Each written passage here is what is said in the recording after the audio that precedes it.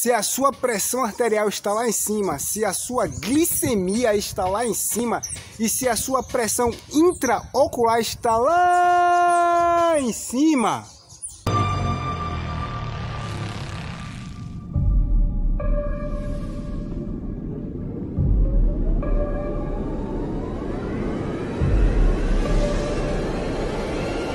Por ser uma insulina vegetal, reduz os sintomas da diabetes, inclusive a poliúria, distúrbios renais e outros problemas urinários. Isso quer dizer o quê? Que se você tiver pedra no rins, ele vai ajudar a dissolver essa pedra. Se você tiver infecções, se você tiver inflamações nos rins, na bexiga, a ureter e a uretra que tiver inflamada vai desinflamar, porque esse chá é maravilhoso. Também diminui os níveis de triglicerídeos, isso quer dizer o que? O nível de açúcar no sangue. Também o nível de colesterol ruim, o LDL.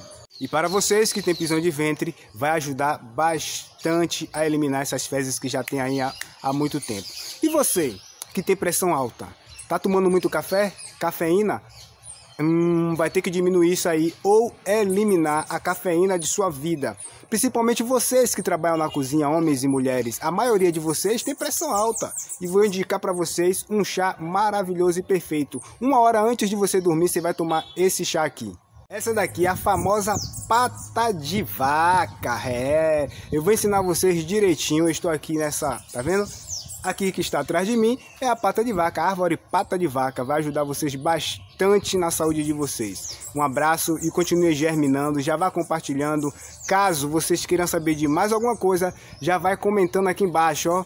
Dá aquele velho like e compartilhe. Germine semente. Que Deus abençoe vocês. Você deve estar se perguntando agora, e quem não tem pressão arterial, que é conhecida como pressão alta? E quem não tem pressão intraocular, você deve estar se perguntando, e quem não tem diabetes, hipoglicemia? Será que você pode tomar? Não. Você deve tomar, porque você vai evitar ter todos esses sintomas que eu acabei de apresentar para vocês.